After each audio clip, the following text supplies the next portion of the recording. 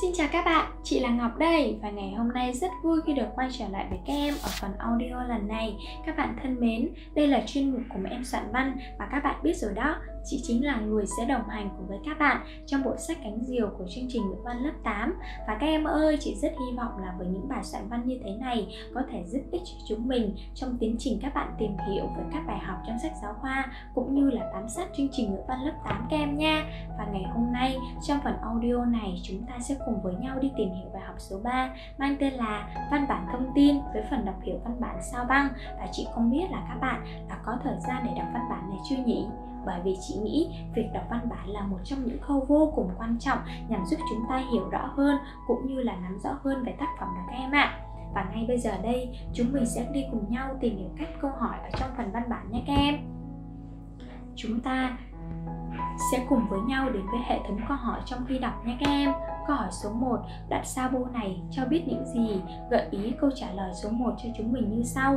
Đoạn Sabo đã đưa ra hàng loạt những câu hỏi xoay quanh các hiện tượng sao băng như sao băng là gì? Chúng xuất hiện từ đâu ngoài vũ trụ bao la? Những điều ước khi gặp ngôi sao băng liệu có thành hiện thực không? Và từ đó dẫn dắt người đọc đi đến nội dung chính của văn bản.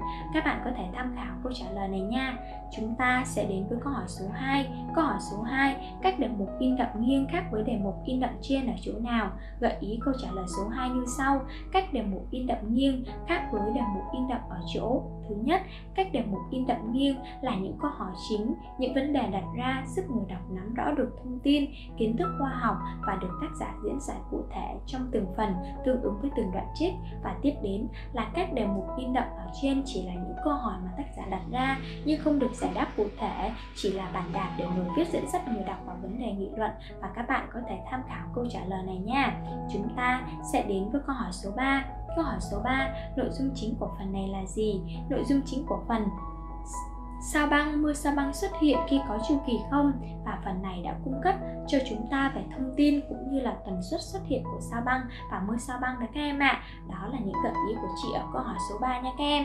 Và tiếp theo chúng ta sẽ đến với câu hỏi số 4 Câu hỏi số 4 Khi nào có xem được sao băng? Gợi ý câu trả lời số 4 như sau Khi trời quá nhiều mây, thời tiết và độ ô nhiễm của không khí cao hoặc quá nhiều ánh sáng thì chúng ta khó có thể xem được sao băng. Đó là gợi ý của chị ở câu hỏi số 4. Các bạn có thể tham khảo nha. Chúng ta sẽ đến với câu hỏi số 5. Câu hỏi số 5, người viết có tin vào điểm xấu khi thấy sao băng không? Gợi ý câu trả lời số 5, người viết không tin vào điểm xấu khi thấy sao băng bởi vì đây là những quan điểm không có cơ sở khoa học và tất cả chỉ mang đậm tính chất duy tâm mà thôi. Đó là gợi ý của chị ở câu hỏi số 5. Và tiếp theo, chúng ta sẽ cùng với nhau đi tìm hiểu câu hỏi số 6. Câu hỏi số 6, vì sao lại ước khi thấy sao băng? Gợi ý câu trả lời số 6 như sau. Khi thấy sao băng, người ta thường ước bởi vì họ tin rằng khi họ ước thì điều đó sẽ thành hiện thực. Và các em ơi, đó là những gợi ý của chị gửi đến các em ở phần trong khi đọc. Và tiếp theo chúng ta sẽ đến với những hệ thống câu hỏi ở phần sau khi đọc văn bản các em nha. Hệ thống những câu hỏi sau khi đọc. Câu hỏi số 1, những thông tin chính mà văn bản sao băng cung cấp là gì và em dựa vào đâu mà nhận xét được các thông tin ấy? Gợi ý câu trả lời số 1, những thông tin chính mà văn bản sao băng cung cấp là những thông tin về hiện tượng sao băng. Thứ nhất là giới thiệu và lý giải nguồn gốc của hiện tượng sao băng. Thứ hai là trình bày những kiến thức khoa học cơ sở về sao băng và mưa sao băng như là lý do xuất hiện nè, chu kỳ xuất hiện nè và cách xem được chúng. Và thứ ba là những sự thật khi có sao băng rơi và cách ước khi có sao băng và các bạn có thể tham khảo câu trả lời số 1 này nha. Chúng ta sẽ đến với câu hỏi số 2. Câu hỏi số 2. Người viết đã triển khai ý tưởng và thông tin trong bài viết như thế nào và hãy tóm tắt các thông tin chính trong văn bản sao băng bằng một sơ đồ tư duy. Gợi ý trả lời câu hỏi số 2. Người viết đã triển khai ý tưởng và thông tin trong bài viết một cách độc đáo nhất theo quan hệ nguyên nhân kết quả đó là đưa ra cách đề mục câu hỏi trước mỗi phần và trả lời câu hỏi đó tương ứng với các đoạn trích và sau đây thì chị sẽ tóm tắt các thông tin tin chính trong văn bản sao băng bằng một sơ đồ tư duy và các em lắng nghe nha Trước tiên là giới thiệu và lý giải nguồn gốc của sao băng. Thứ nhất, sao băng là những tia lửa sáng trên bầu trời và chúng xuyên qua quý quyển với vận tốc khoảng 100.000 km h và tạo nên sao băng và mưa sao băng. Tiếp đến là chúng ta nhìn thấy được nó bởi vì lượng nhiệt phát sinh do áp suất khi các thiên thạch đi sâu vào khí quyển và nó sẽ để lại một vệt sáng khi chúng di chuyển đi qua. Và tiếp theo là những kiến thức khoa học về sao băng và mưa sao băng. Trước tiên, sao chổi là nguyên nhân chính xuất hiện sao băng, chu kỳ các trận mưa sao băng là một năm và cách quan sát các hiện tượng mưa sao băng, chúng ta chỉ cần xác định được hướng của các chòm sao và cuối cùng là quan trọng là phải gần xích đạo của trái đất để có thể dễ quan sát hiện tượng đó các em ạ. Và khi mà xa về hai cực thì chúng ta sẽ khó quan sát hiện tượng sao băng đó các em. Và tiếp đến đó là những điều kỳ thú khi sao băng xuất hiện các em ạ. Những điều kỳ thú khi sao băng xuất hiện đó là người ta tin rằng môi trường sống trên đời này đều có một ngôi sao, nên khi có sao rơi, đồng nghĩa với việc có người chết. Và quan điểm này chỉ mang tính chất duy tâm thôi, không bắt nguồn từ khoa học đâu các em ạ. Và tiếp đến là người ta tin rằng khi ước ước khi có sao rơi thì điều ước sẽ còn sẽ thành hiện thực. Và đây cũng chỉ là quan niệm nhân gian, cũng chưa được kiểm chứng đâu các em. Và tiếp đến, đó là đã nêu nêu ra cho chúng ta hệ thống của cách ước như là nhắm mắt và nghĩ trong đầu về ước nguyện của mình. Và các em ơi, chúng ta có thể tham khảo những gợi ý của chị ở câu hỏi số 2 này nha các em. Và tiếp đến thì chúng ta sẽ cùng nhau đi tìm hiểu câu hỏi số 3 câu hỏi số 3 mang tên sao băng và mưa sao băng khác nhau như thế nào? Và theo bài viết vì sao có sao băng và mưa sao băng?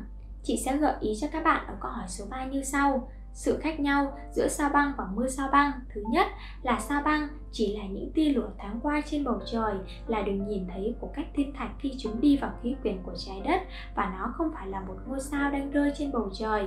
Thứ hai, đó là mưa sao băng. Mưa sao băng nguyên nhân chính là do sao chổi. Khi sao chổi chuyển động gần mặt trời, nó sẽ tan ra và tạo thành những giải bụi trên quỹ đạo của mình. Và khi có một ngôi sao chổi đi qua gần trái đất, các bụi khí của nó sẽ bay vào khí quyển và làm xuất hiện sao băng đó các em. Và lý do để xuất hiện mưa sao băng là bởi vì khi mà sao băng xuất hiện thành các mảnh vỡ của các thiên thạch, sao chổi, mảnh kim, loại của các tiểu hành tinh khi va chạm với nhau, khi rơi xuống trái đất có lượng có lượng nhiệt độ phát sinh do áp suất khi các thiên thạch bay vào khí quyển làm cho nó bị nung nóng và dẫn tới hiện tượng phát sáng lên.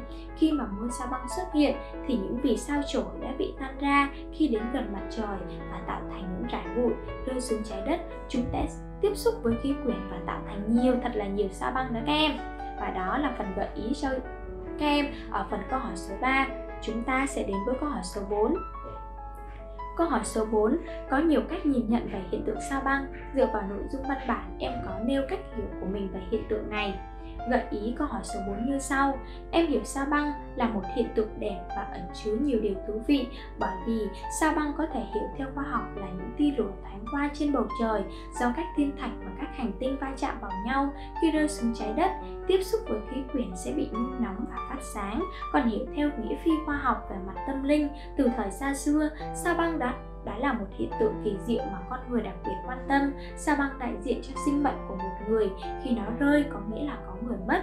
Nó còn có tên khác là sao đổi ngôi nên thấy sao băng rơi như báo hiệu cho sự thay đổi của triều đại nhưng sao băng, giữa ánh nhìn phi khoa học cũng mang hẳn ý tốt như đại diện cho tình yêu đôi lứa, đại diện cho ước mơ thành hiện thực.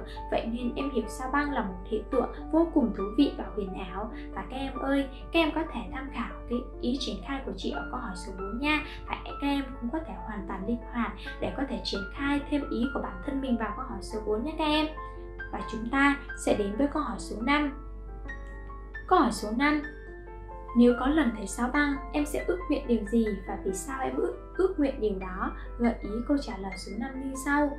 Nếu có lần thấy sao băng, em sẽ ước cho tất cả mọi người xung quanh em được mạnh được mạnh khỏe và hạnh phúc vì mỗi chúng ta không thể sống vui vẻ nếu mọi người xung quanh ta không hạnh phúc không vui vẻ tất cả mọi người từ bố mẹ từ ông bà từ anh chị từ bạn bè và thầy cô là điều vô cùng quan trọng đối với ta họ cũng như những bộ phận trên cơ thể của chúng ta vậy. Đó là những bộ phận không thể nào tách rời được cơ thể của chúng ta. Họ luôn luôn quan tâm, luôn luôn yêu thương và bên cạnh ta, kể cả những lúc ta vui hay ta buồn. Vậy nên nếu như khi gặp được thấy mưa sao băng, chắc chắn điều ước đầu tiên mà em nghĩ tới đó chính là điều ước này. Các em ơi, các em có thể tham khảo lời gợi ý của chị ở câu hỏi số 5 nha. Và các em cũng có thể triển khai thêm cái suy nghĩ của mình ở câu hỏi số 5 này nha các bạn và chúng ta sẽ đến với câu hỏi số 6. Câu hỏi số 6, theo em vì sao văn bản sao băng lại được gọi là một văn bản giải thích hiện tượng tự nhiên? gợi ý câu trả lời số 6 như sau.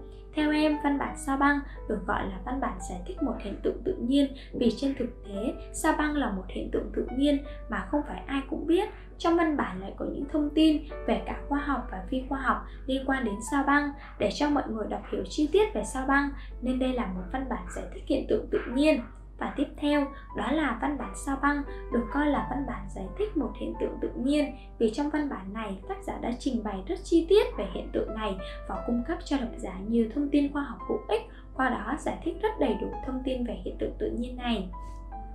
Và các em ơi, ở trên đây chính là phần gợi ý cho của chị về những câu hỏi trong sách giáo khoa với phần đọc hiểu văn bản sao băng. Và chị rất là hy vọng rằng với phần soạn văn này sẽ giúp ích được cho chúng mình trong quá trình học nha các em. Và đừng quên ấn nút đăng ký theo dõi kênh youtube của học văn chị Hiên để có thể xem nhiều video clip soạn văn hay hơn nha. Và đồng thời cũng sẽ giúp chúng mình yêu môn học này hơn, học tốt môn học này hơn các bạn nha. Và chị cảm ơn tất cả các em vì đã lắng nghe. Xin chào và hẹn gặp lại các em ở những video clip tiếp theo nha.